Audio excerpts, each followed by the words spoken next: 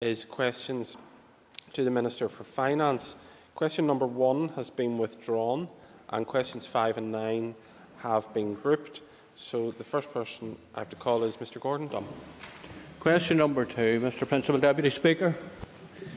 Eh, I'm very aware that the local newspaper sector here is struggling to survive given the significant loss of income experienced over recent months. I can confirm to the member that back in June I did indeed put plans to executive colleagues to extend the 12-month rate support to the local newspaper industry here. That was in line with similar relief that had been provided in Scotland.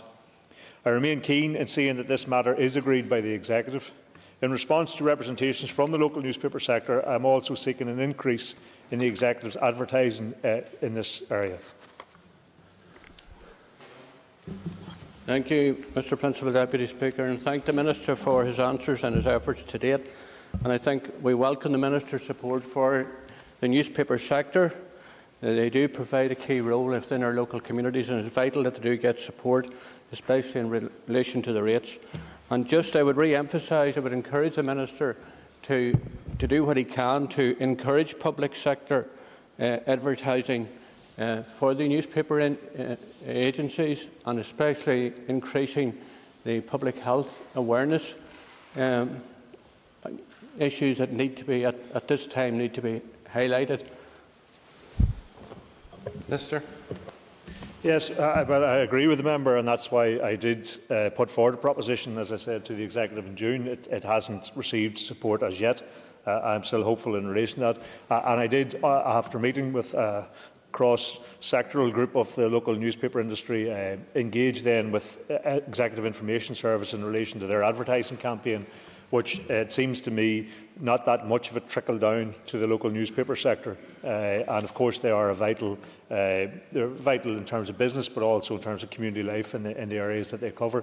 And they also will hit, I think, a demographic in terms of advertising that perhaps social media and, and electronic media don't hit, uh, and perhaps some of the people who, who most need to hear in terms of protecting themselves and, and whatever vulnerabilities they might have. So uh, I'm keen that, uh, that, that such an advertising campaign is stepped up and that, as has been done in Scotland, that it's targeted through local newspapers so that we can get uh, to that demographic that perhaps isn't getting through the social media side. Mr Mike Nesbitt. Mr Deputy Speaker, thank you, and I thank the Minister for his words of, of support. There is another action within his gift he could take which would bring long-term benefit uh, to local media, and that is supporting libel reform. He will recall that uh, as Finance Minister Sammy Wilson not only brought, did not bring forward an LCM on the 2013 Defamation, Defamation Act, he didn't even consult uh, with executive colleagues. Well, can I say I'm, I'm happy to look at that. It's not something that has been brought to my attention since I came in. Obviously, we were very quickly into dealing with COVID and all of the issues that throw, has thrown up, but I'm happy to go back into the department and see where that issue has, has been sitting uh, and what can be done in relation to it. Claire Sugden. Well, Deputy Speaker, um, given the new restrictions and the challenges that are presenting themselves, is the Minister considering any other sectors to which he may extend the 12-month rate relief scheme? Well, I haven't had specific uh, requests from, from others. Uh, and, and the, the, work that we did uh, to identify those sectors was done by the uh, University of Ulster, uh, their economic team there, and they came forward with the sectors that they identified would be most in need and, and, and we obviously targeted rate support for that. They have since recognised and looked again at the newspaper sector and said, you know, given the, the drop-off in entertainment, which is obviously a big source of income in terms of advertising for local press, uh, that they had been particularly hit and they, they um, advocated that they would be supported in that way. So if there are other particular sectors uh, that feel that that is the case, I, I'm, I'm more than happy to look at them. But as I say, it was based on a piece of research work that we undertook and that identified the particular sectors. Mr Matthew O'Toole. Thank you, Mr Principal Deputy Speaker. Um, I've engaged with the Minister on this in the past. It's something I've been uh, campaigning on. He said that a bid had gone into the uh, Executive in relation to extending relief for local newspapers. Can he be specific? Is there an outstanding bid and have ministers in the Executive not agreed to it or is it just that it's waiting for a, a sort of future bids process? Where, where exactly is it? Well, it, it, uh, we did quantify what the cost would be uh, in terms of rates uh, holiday for that sector for the rest of the financial year. You will know that, that quite a lot of the local newspapers have a kind of a shop front part to them. Uh, some of them who have their own uh, printing facilities uh, would qualify under manufacturing rate relief, uh, and so they, it isn't necessary for those. So we did quantify that. It hasn't got onto the executive agenda. That's a matter of regret, and I hope that it will at some stage very soon. Mr John Blair. Three, Principal Deputy Speaker. I secured executive agreement to a package of time-limited support measures for the aviation sector in April 2020, as the lockdown resulted in significant reductions in passenger numbers. This package was developed in conjunction with the Economy and Infrastructure Ministers who have policy responsibility for aviation. This package provides up to £5.7 million for Belfast City Airport, City of Derry Airport and those airlines operating essential flights and help keep the air bridge open with Britain. In May, I also announced 100% rate relief for Belfast International, Belfast City and City of Derry airports until the 31st of March 2021. That additional package is worth £2.2 million. In June, the Executive agreed to further support the airports given the material losses they are suffering, including continuing to support City of Derry until March 2021. My department is actively considering what further support might be required to maintain local connectivity, and I understand the other departments are doing the same.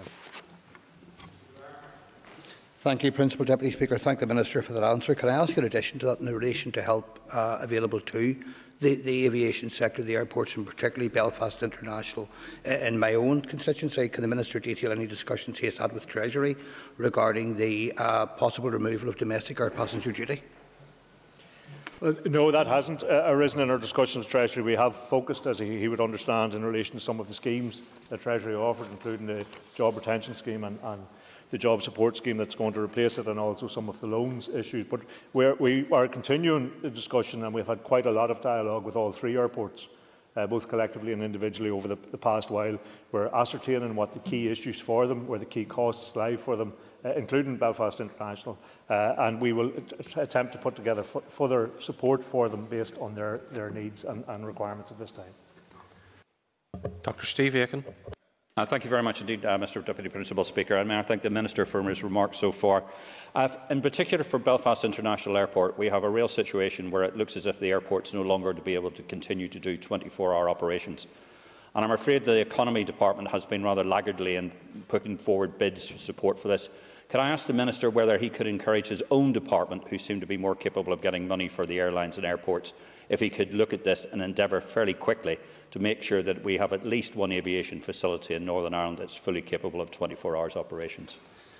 Well, as I say, we, we have a very uh, regular and ongoing uh, dialogue and have had, have had since the start of the pandemic with the airports because we recognise very clearly they're key uh, in terms of, of uh, connectivity, which is key in terms of our local economy, all three airports. Uh, and yes, we're happy to continue the dialogue with Belfast International. If there are particular issues which affect the timing of its flights. It's something probably beyond the scope of our department, uh, but we have acted, if you, as, as, if you like, as a, as a kind of conduit with other departments as well, in, in understanding what the immediate requirements of there are, in talking to the Department for Transport uh, in London uh, in relation to our airports as well as talking to Treasury, but making sure that the local departments also are responding to their needs. Mr Gordon Dunne. Deputy Speaker, can the Minister give us some assurance in relation to uh, manufacturing, especially Bombardier, and the impact of the, the drop-off in aircraft flights and the loss that there was, the risk of the loss of a number of jobs in manufacturing to Bombardier and other uh, suppliers within the supply chain who work tirelessly, tirelessly for uh, manufacturing in Northern Ireland. Well, uh, can I say that, uh, I mean, it would primarily be up to his colleague, the Minister for the Economy, to bring forward some propositions and to engage with those sectors to understand what their losses may be. And I, I do understand, and the Minister has mentioned on a number of occasions about the avi broader aviation and aviation support industry being very much challenged uh, in the time ahead because orders will drop off and it'll be a much longer uh, comeback for them than perhaps some other sectors which might be able to respond more quickly. Uh, but I'm more than happy to hear from departments in relation to where they think the critical issues are that need to be addressed. Of course, they have to quantify that in terms of a bid, and then I, I'm happy to, to an analyse that, to, to, to do some, uh, some due diligence on it and present that to the Executive for support. Mr Andrew Muir.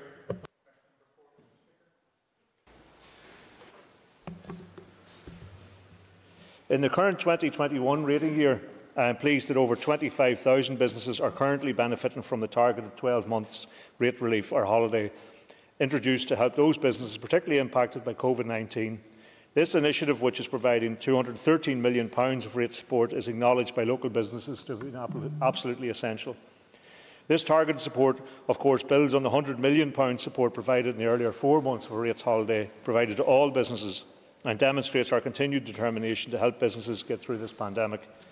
You will have heard my response to the member for North Down concerning the newspaper sector, and I consider this would be a small but suitable extension to the scheme. Thank you very much, Mr Principal Deputy Speaker, and I thank the Minister for his response. The assistance given in this financial year is to be welcomed and should, I believe, be also extended to cover those industries affected by the further restrictions now in place. Uh, can I ask the Minister what work is being done to look at uh, relief for the next financial year, which is 21-22, uh, because I know that a number of businesses will continue to suffer a downturn in trade as a result of the pandemic? Well, I agree, I agree with him on his last point that the, it's unlikely that we will be through the economic consequences of this pandemic, whatever but the health consequences by the end of the financial year.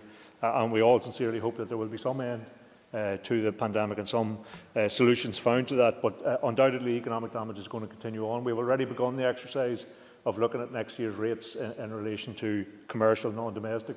Uh, and we will begin engaging with some of the business sectors in relation to that.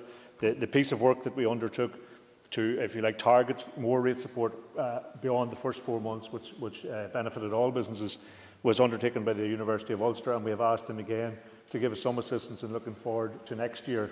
Uh, it's very difficult, as he will understand, given how unpredictable the virus has been and the, the consequence of, of further restrictions having to be introduced. But uh, we are undertaking that work and we will engage again University of Ulster to assist us in looking at those specific sectors that are going to continue to struggle in the new financial year. Mr Jim Allister. I asked the Minister to look at one particular sector in business which has not been provided for in rates relief, namely the B&B sector, because they primarily pay domestic rates, and yet they seek to operate businesses which have been devastated. Uh, would it not be fair and appropriate in that niche to provide uh, rates relief for B&B operators?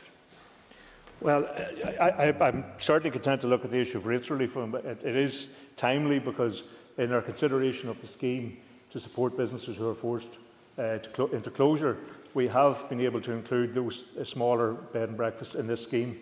Uh, and it was simply on the basis of a conversation with them where, as he quite rightly identifies, they come in under the domestic rating and therefore LPS were unable to distinguish between them and ordinary households. Uh, but they advised us that the Tourist Board gives them a certificate of accreditation, so it was simply a matter of getting the list, and that could have been done earlier this year in the, in the pandemic, and I regret it wasn't because we could have got support that sector much e more easily. And so we have now been able to include them in the support package for businesses which are, are now being uh, uh, obliged to close down under the new restrictions. So that's something, uh, it's not the rates relief question he raises, uh, but I think it does point out the necessity not just of departments to collaborate together, but arm's length bodies to bring information in to assist. And, and I've asked departments to adopt a can-do attitude, and the same applies to arm's length bodies, where a sector such as that, which is, is vital, I think there's some 400 businesses affected, uh, which is vital to tourism uh, industry here, should have been picked up earlier in the year, but I'm glad it has been picked up now. Ms Jemma Dolan. Concordia. Minister, do you agree that the business rate policy for the next financial year needs to be set as soon as possible to give businesses time to plan? Yes, I, I think it, it, it, sh it, should be. Uh, of course, we, we have budgetary issues which we have to get uh, clarity on. Uh, and we're pressing very hard to get those uh, because in setting policies, we want to set them against the budgets that are available to us, and we're, we are intending and planning on the basis that we're into a three year multi-annual budget for resource and a four-year for capital. We have yet to get absolute confirmation from Treasury in relation to that. The spending review has begun uh, and both not just ourselves but Scotland and Wales are very keen to get some uh, information from Treasury in relation to how that's been conducted. So of course, I agree with you that the planning uh, should be done as early as possible, but when we are uncertain about the funding envelope that we have, it makes it much more difficult to plan. Mr Pat Catney. Principal Deputy Speaker, and thank you, Minister, for your answers so far. Um, Minister, um, has I know consideration has been given to extending targeted rates relief to the local sectors like the creative and in the arts, you know, the, the arts sector. Um, does the Minister agree with me that there's um, irresponsible to continue to rely solely upon the ad hoc handouts from Westminster uh, to address the structural challenges to Northern Ireland's economy thrown up by COVID? And what discussions has he had with the Minister for the Economy around developing an economic intervention programme to address the long-term impacts of jobs and business creation? Well, such, I mean, the Executive has discussed, uh, obviously, the, the, the, broader issue of economic support, and I have had discussions with the Minister for the Economy as well in relation to meeting support in the here and now. Uh, the difficulty, as I've just identified in my last answer, uh, in terms of a longer-term economic uh, input and, and providing longer-term support, and this is, going to be a protracted economic recovery, uh, undoubtedly, is knowing the funding envelope that we had for the years ahead. Uh, and that's why we need some certainty from the comprehensive spending review process that's ongoing in Whitehall uh, and find out, as I say, both the, the time frame that we're operating in and also the sum that we have attached to that. And I think that then allows us, that's not to say we shouldn't be engaging with the business sectors, we shouldn't be formulating plans, but to put something very concrete in place requires you to know the time frame of the budget and the funding envelope that you have. Mrs Pam Cameron. Question number five, please. With your permission, I'll Ask Concordia, I want you to group question 5 and question 9. Uh, the Executive agreed a support scheme for businesses in Derry City and Strabane Council area directly affected by, health, affected by the health regulations announced on the 1st of October. Following the Executive receiving an additional £200 million, I moved swiftly to double the payments previously announced for Derry and Strabane Council area and extend the support package to those eligible businesses that are subject to the new restrictions uh, all across the council, all council areas from Friday evening.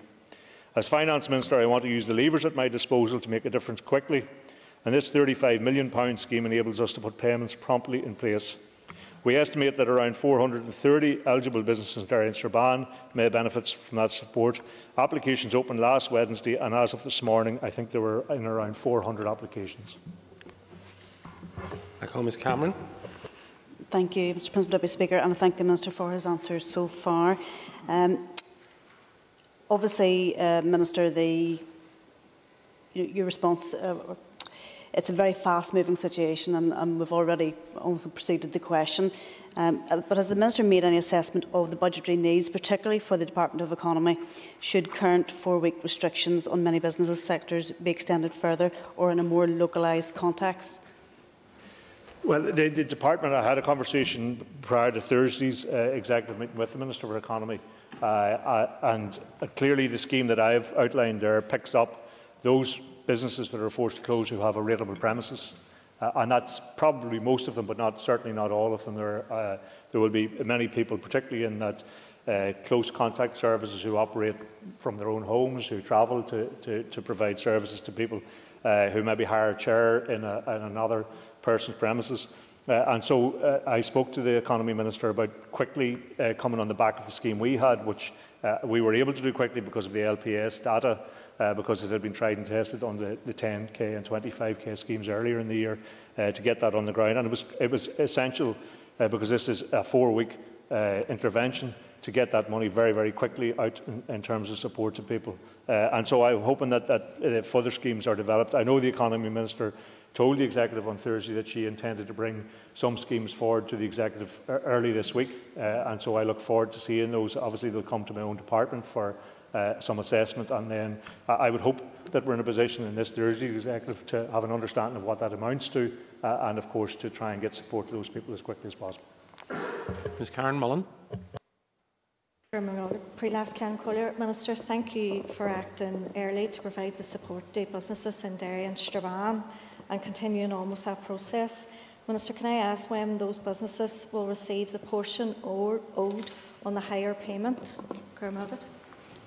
Yes, the, uh, the, the, scheme, as I say there, the scheme for Derry City and Strabane, we, we moved ahead with because they had already at that stage, even though we knew further uh, interventions were coming, already at that stage they had been closed for over a week. So it was important to move ahead as quickly as possible with that scheme. Uh, that, that, the scheme for all 11 council areas has been open this morning, and I understand that there are uh, several thousand applications already in for that. Uh, and what we will do when the regulations are, are very uh, through clearly in relation to the level of payment, uh, because the rest of the regulations are in place, then we will add on to the payment already received uh, on some of the Derry City and Strabane businesses and make sure that they get the same amount as everyone else as quickly as possible. Dr Caoimhe Archibald. Margaret Privlas Cancorla, um, and I want to thank the Minister for his responses so far and commend him on getting the finance package in place and open today. Um, Minister, when the North West package was announced, the SDLP leader claimed that Nicola Mallon was critical of the package made available. Is the Minister aware of any such representation or criticism from the Infrastructure Minister? Margaret. Well, I'm, uh, I'm, I'm loath to get into internal executive. Suffice to say that uh, when that scheme was put in place, we did uh, obviously uh, circulate the scheme to all executive colleagues uh, for comment uh, before it was brought to the executive, and we received no objections to the scheme at all. Mr. Roy Beggs. Question number six. Uh, the, the, budget for 2021 was actually published on 31st of March this year. Uh, however, if the member is referring to the 21-22 budget, then this cannot be published without the understanding of the overall financial context. In that regard, the Executive's funding envelope is yet to be determined. The funding envelope is dependent on the outcome of the Treasury spending review, and the Chancellor has not yet set a date for the, out, for the spending review outcome. That's something myself and the other devolved administration colleagues have been pressing him for. And once we know the outcome of the spent review, a local budget, budget process will follow, and the Executive must have a budget in place for 21-22 before the new financial year. Welcome the publication of the main estimates in the last few weeks. It's important to have detailed estimates for planning purposes. But does the Minister appreciate the importance of having a draft budget public, published and engaging with the public uh, going forward? And will he assure me that we will have one this time and he will not become the second Sinn Féin minister to fail to publish a draft budget? Well, the member will know that I could only publish a budget when I know the, the, the amount that will be there and also the time frame within which we're planning. So uh, the earlier we can get that information from the comprehensive spending review was due to have taken place over the summer months in Whitehall. It's now pushed back into the autumn. We're pressing for the earliest uh, information possible, and, and, both myself and the Scottish Finance Minister and the Welsh Finance Minister have been jointly pressing for this because the, the lack of uh, information in relation to that affects all of our planning. Uh, and so I can assure him that as soon as we have uh, sufficient information to allow us, uh, we, will, we will engage in the budget planning process immediately and make sure there is full consultation with uh, both this Assembly and its committees, but also with other sectors who will have an interest. Ms Martina Anderson. Minister, are you planning a multi-year budget? I'm thinking primarily about infrastructure, money infrastructure committee, and it would be quite useful and helpful for the North West, particularly Derry.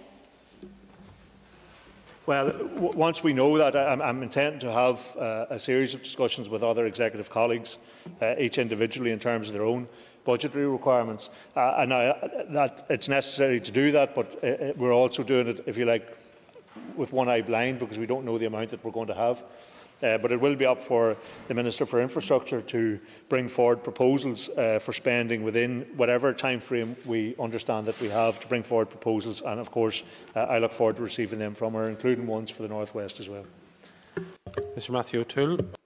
Principal Deputy Speaker. Uh, Minister, the budget that was published in uh, June of this year was basically a placeholder, in part because of the COVID crisis. We are now 10 months from the restart of these institutions, but we are about 18 months from the end of this mandate and new elections. We're also, uh, uh, we're also in the midst of the COVID crisis, which probably won't be over for at least six months, even in the most optimistic timeline. Would he accept, would he agree with me that it's basically now extremely unlikely that there will be a full multi-year budget, a programme for government or anything approaching a serious strategic um, budgeting process for this executive? And further to that, he really needs to sit down with the economy minister and deliver a more a coherent economic response. I suspect the Minister's answer will be shorter than the member's question. Minister.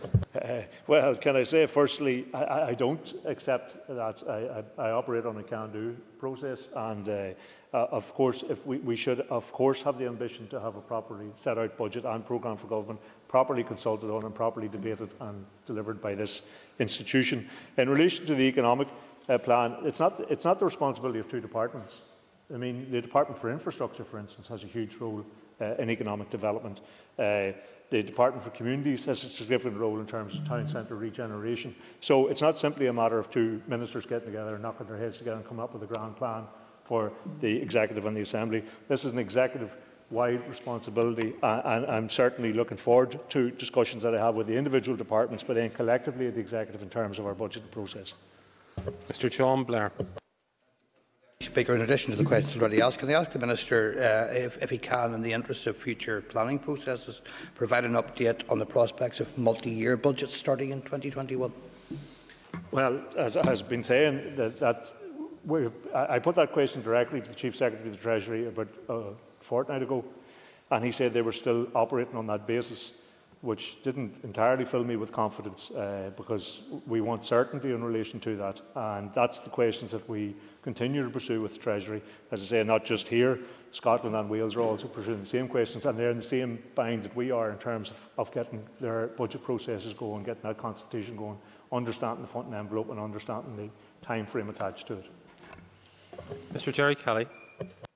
Uh, Privlas Collier, Cast, uh, Shout, question seven. The Procurement Board is responsible for setting pol uh, policy priorities for procurement expenditure, which influence around 25% of the Executive's budget. I believe that this is important to ensure that these policies are developed uh, by experts in public procurement along with representatives from key sectors in the economy. I have asked the Executive to agree a reconstituted procurement board and the appointment of representatives from key sectors of the economy to work with procurement professionals to develop future policy.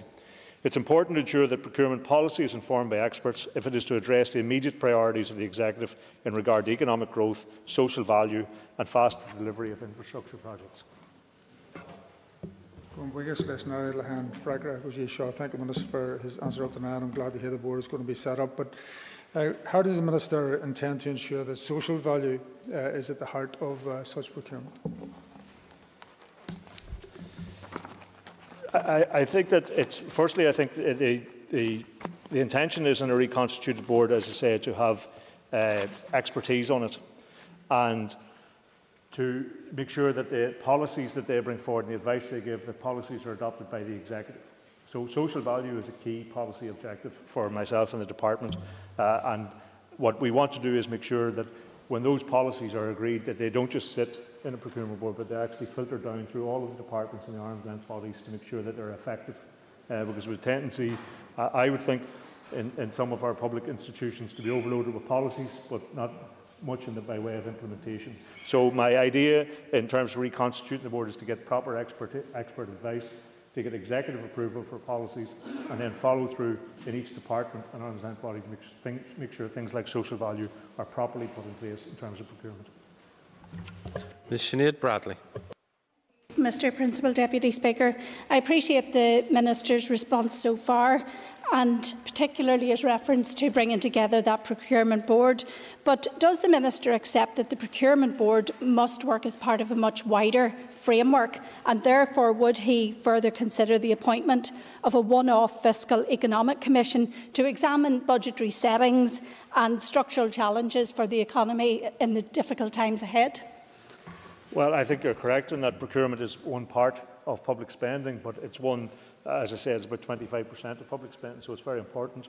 It's important that we, we have policies attached to that, so things like social value and, and, and more efficiency in terms of the spend are, are key, key things. But of course, uh, I am looking at the idea of a fiscal commission and a fiscal council to assist in, in overarching spending plans and the, the uh, levers that we have available us in terms of revenue raising.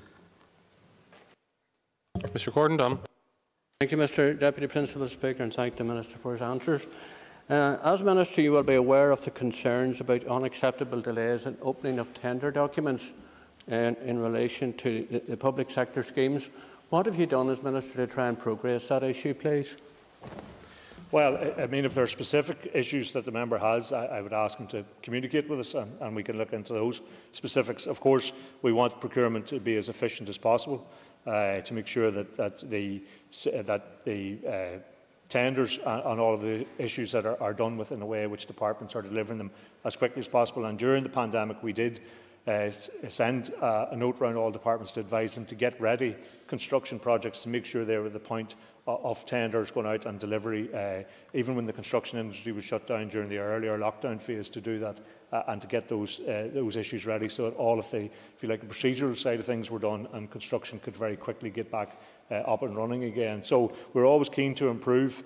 Uh, on efficiency and effectiveness, and if there are specific uh, issues that the, the members are aware of, then I would invite them to, to let us know about them, and we will, we will deal with them.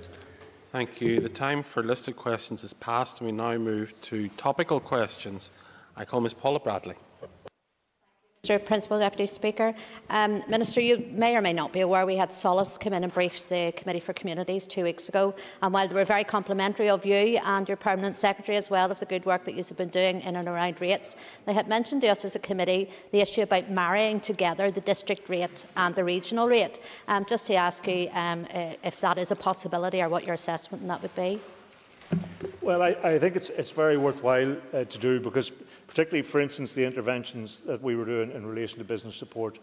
If, uh, and in that, the councils take from the, uh, the rates were, were protected in that actually, and, and, and, it was a good outcome for councils. I'm not surprised that they're complimentary of the department, whatever it would be, but uh, it was a good outcome because some of those businesses may have closed and the councils would have lost the rate. Uh, we, we guaranteed the, the protection of their rate in that. But I think in terms of setting overarching policy, I mean, if the executive took an initiative to support businesses uh, and, and reduce the rates on them, but the council took an initiative to increase the rates, maybe an individual council or a number of councils, uh, it would undo one part of the policy would undo the other. So I think the closer that there is between what regional government does and what local government does, then I, I think then we will have a better outcome and we'll have more consistency in terms of approach. So I'm very keen to work with local government through Solace and through the councils themselves, through uh, NILGA I've met uh, on occasions as well to discuss these things out and to try and get more uh, joined up working arrangement right across the public sector in that regard. I think it's to the benefit of everyone. Ms Bradley for a supplementary. Thank you again, Mr Principal Deputy Speaker, and can I thank the Minister for his answer. Then just following on from that, um, they also mentioned in their briefing um, to the committee, um, I mean, we all know that the rates is based on the estimated penny product, and they had uh, mentioned about protecting um, that for them going forward because they're worried about clawback whenever the actual figure um, becomes a reality. Just again, your assessment on that, I know they've asked for that sort of two, three years long term, but even for the year ahead. Well, can I say, as part of the rates process that I talked about earlier, in terms of looking at what rates might be like next year and what reliefs can be provided, we also have the engagement going with the councils as well. Uh, so a lot of the, the more technical issues like the penny product and others, we, we can, we can uh, undertake through engagement, but I'm committed to closer working with them. Uh, and clearly, over the course of the pandemic, we did at various times find money to put through the Department of Communities into councils because we recognise how vital they are in terms of public services and support on the ground. So we want to make sure the councils are in a position to deliver public services and continue to function to do the good work they're doing. So I, I think that level of collaboration and understanding on all of those issues is something we're keen to work on. Mr Framacan. I'll ask Ceann Comhairle. Uh, can I ask the Minister uh, if he could confirm whether social enterprises and B&Bs are included in a support scheme for businesses subjected to restrictions? Yes, I'm glad to confirm. I, had in a previous answer to Mr Allister confirmed that in this scheme that we had developed, uh, just due to a conversation with the smaller bed and breakfasts, we were able to ascertain that uh, they could be verified uh, in terms of the business they do through the tourist boards list uh, and we were able to include them. And yes, uh, social enterprises are, have also been included because uh, not only do they have a business side to their function, but they're hugely important in terms of delivering services on the ground and engaging uh, and employing people that perhaps otherwise wouldn't make their way onto the workforce. Uh, Minister, and uh, further to that, uh, could the Minister say has he, has he received any proposals in relation to financial support for sole traders, taxi drivers and uh, the coaching, coach industry? There are a range of, of sectors, and, and, a lot of them have been mentioned here today in the earlier debate uh, as well. that we have yet to receive proposals for, and, and some of that has been through, you know, a difficulty in getting uh, individual departments to, to decide who is responsible. Uh, others because it may be in terms of data, trying to find ways of verifying who, who are in these various sectors and who are, who are active economically. Uh, but I have encouraged all executive ministers who have responsibility to urgently bring forward schemes to provide support. And I've made it clear that we're now on the second round in terms of some businesses in providing support, and that's all the more acute for those people who have yet to receive any support. Uh, and so I think it's, it's of vital importance that we get those schemes brought forward and delivered very quickly. Ms Claire Sugden. Uh, Principal Deputy Speaker, um, last month the Northern Ireland Audit Office reported over £13 million of COVID business-related uh, grants paid in error. Now, I appreciate those schemes were designed by the Department for the Economy, but as the Minister for the Public Purse, um, are you confident that that money can be clawed back that could be utilised in other areas? Well, the member will know that those schemes were developed you know, probably in an unprecedented and unprecedented has almost become overused in this situation, but schemes were developed and put out on the ground because the, the, the primary importance in that was speed and getting support to businesses. And so uh, we did have discussions with the uh, Controller and Auditor General to advise them that we were taking risk with this. Having said that, uh, I, I recognise the amount I think that you've, you've identified as, a, as a, an estimate uh, based on a number of samples that they have uh, worked it up that that could be what it is. It's still in over 90%, I think it was 93, 94% has been, on that estimate has been paid out accurately, which I think is remarkable given how quickly the schemes were put together and the money was paid out in the ground. I understand some money has been clawed back already, uh, and I would encourage where we do find that money was paid out in error to seek to get that money back because, of course, as you say, it's important to get that spent in areas that need it. Ms Sugden. Um, I, no, I appreciate the schemes were developed quite quickly and the aim was to get out money as quickly as possible.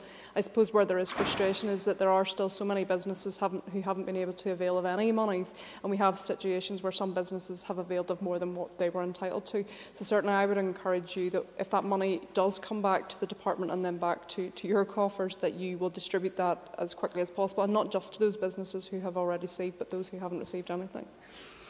Well, I, I Uh, absolutely, but you will know that uh, I mean, it's not up to me to distribute that money. It has to be on the basis of a scheme that's brought forward by a department, in this case the Department of Economy, to say we recognise that these people have missed out and here's a way uh, to, to uh, supply money to them. And, and uh, any conversation we've had with business, uh, and including in recent times when the, this further intervention has been brought forward by the executive, has all been about getting cash quickly to businesses. That's what they tell us they require. Uh, and so, of course, we will try to do that as best we can. Some businesses were able to continue to trade even over the course of the lockdown. Some businesses continued to trade. Uh, and so it was important to try and target that to make sure that we weren't giving money to people who were doing okay uh, and that they could continue to trade without very little uh, restriction. So it is important to try and find ways to target the support to where it's needed. And in doing that, sometimes people do miss out or fall through the cracks of various schemes. So uh, that's what I've asked ministers to bring forward propositions for that as urgently as possible. Mr Pat Can the Minister advise why money allocated to healthcare staff to reimburse them for wages lost while they were on strike hasn't yet reached those staff members? Well, the Executive agreed to allocate 1.64 million to reimburse healthcare staff on the 18th of May. And it is disappointing that five months on, the Department of Health has yet to provide this money to health staff. Uh, I again urge the Health Minister to reimburse health workers who are at the forefront of the COVID pandemic as a matter of urgency, and this was something that has been agreed by the Executive, uh, and so I'm not sure what the, the hold-up in relation to payment is. Mr Sheehan. agus buchas leis an ara a ragra. Thank the Minister for his answer. Uh, could I ask the Minister, the uh, hospices provide a vital service in society here, but their funding has been badly impacted as a result of COVID. Can the Minister say if any uh, extra funding is going to be provided to hospices in the time ahead? Well, in May, I announced uh, 6.75 million pound support for the hospices, and uh, I had an opportunity at that time to visit uh, some of them, see firsthand the incredible work that they do. Uh, I'm currently working on a further support package for the hospices, which I hope to bring uh, in the near future to the executive. Uh, we have been engaging with the hospices, uh, including uh, Daisy Lodge, which is the children's uh, support uh, project and the Children's Fund for Cancer. Uh, and, we hope to bring a proposition to the Executive in the very near future in relation to that. There's also the outstanding issue because getting emergency support to the hospices at this time is one thing, but there is the outstanding issue of funding for the hospices being mainstreamed and that 50-50 funding which had been agreed with the Department of Health some time back uh, to make sure that that is honoured. And I know there is ongoing dialogue with the Department of Health and the hospices and I hope that you know, we, we don't end up in a situation where we're continuously trying to find emergency funding for these very, very worthy uh, projects, uh, that we get them onto a more mainstream way of funding and, and so we remove that uncertainty for them in terms of how they can carry out their services. Mr Robin Newton. Mr Principal Deputy Speaker, and I thank the Minister for his answers uh, so far. Minister, could I ra uh, raise with you um, those businesses that are uh, engaged in the supply chain to particularly the hairdressing sector and indeed the hospitality sector, where they provide either direct goods or indeed provide services. And the closure uh, of, of the, those uh, areas has had a knock-on effect to them. Uh, bring in mind one small company who normally imply, employs 16 people, and because of the closure of hospitality, they're down to five people. Can I ask the Minister if he's prepared to consider uh, support for those suppliers of goods and services to the particular two sectors I've mentioned? Well, I think the short answer is yes. Uh, of course, uh, the, the, recognition in developing the schemes that we did very quickly was to get to support the people who were obliged to close under the new regulations. But there's also a recognition in our discussions at the Executive that people who weren't necessarily obliged to close uh, but would feel a very adverse uh, economic impact from the closure of businesses who they, the primary function was to supply those businesses. So uh, I have, uh, as I say, the, the Minister for the Economy is looking at a range of issues, including, I think, the, the people who are forced to close who cannot be got through the rates-based scheme, if you like, but also uh, people in the supply chain. Uh, and I would hope that uh, some schemes or some propositions in relation to that would be brought forward to the Executive very quickly. I, accept that it is not the Minister's responsibility, uh, although he has indicated that it would happen very quickly. Can I ask the Minister then if he will give favourable consideration to supporting the suppliers of goods and services to those particular sectors? Again, yes, I give favourable consideration, but I make a recommendation to the Executive, so ultimately it's the Executive who has to approve. Uh, but I, I, I, can only make a recommendation based on a scheme that is brought to me, uh, and I'm, I'm encouraging all responsible ministers to bring forward schemes very quickly because we have a, a limited uh, pot of money and it would help us not only to know what we need but also to get that money out quickly because the COVID related money that we received has to be spent in this financial year. And so it's important to get that money, uh, if, if it's due to businesses that need that support, to get it out on the ground very quickly and allow it to be spent. Mr Gerry Carroll. Has the Minister had any discussions with the Health Minister uh, about rolling out a scheme that would provide free reusable masks to the general public in order to help deal with the, the pandemic and the worrying rising cases? No, uh, the Health Minister hasn't approached me in relation to any such scheme, nor have we received any such proposal. Uh, I know there are various considerations uh, in relation to supporting the community generally in terms of, of dealing with the pandemic, but that scheme has never been put forward to me, I have to say. Mr Carroll. Thank you. Thank you, Minister, for his uh, uh, answer. It's worrying that he hasn't received uh, any uh, proposals. If he was to receive a proposal from the Health Minister, I know it's hypothetical, but would he look favourably upon it and be minded to support the rollout of such a scheme to tackle the uh, pandemic? Well, I think undoubtedly the wearing of face coverings is hugely important. Uh, I mean, it's been identified as one of the three key elements that the community can, can actively engage in, the sanitisation, face coverings and social distancing. Uh, and I mean, there has been investment in terms of providing sanitisation, you know, in the high street and shops and support given to schools to do that. So, uh, yeah, I think clearly if there was an issue in terms of people being able to afford uh, to have uh, face coverings then, uh, and a proposition was put forward, I'm sure given the executives, uh, I suppose, central desire to promote that very strong message, then I'm sure there would be considerable support of the Executive for it. Mr Jim Allister. Tomorrow is the anniversary of the brutal murder of Paul Quinn. Could the Minister find it within himself to publicly and unequivocally acknowledge that Paul Quinn was not a criminal and thereby bring some relief to his still grieving parents? Well, I don't consider this to be part of the finance brief, but nonetheless, I have made uh, a number of statements in relation to that, and I reiterate and stand over those statements. Mr Allister. The Minister has never acknowledged that Paul Quinn was not a criminal. He knows that is what is required to unlock this matter. Why can he not find it within himself? He holds a position of great authority. Why can he not offer that to an ordinary family in South Armagh to acknowledge that their son was not a criminal? Well, as I repeat again, I made a number of statements in relation to it. Uh, I stand over those statements, and my offer to meet and discuss these issues with the family remains. Thank you, members. That concludes questions to the Minister for Finance. If I could ask members to take their ease for a few moments to allow a change at the top table, we will return to the debate and the discussion on the supply.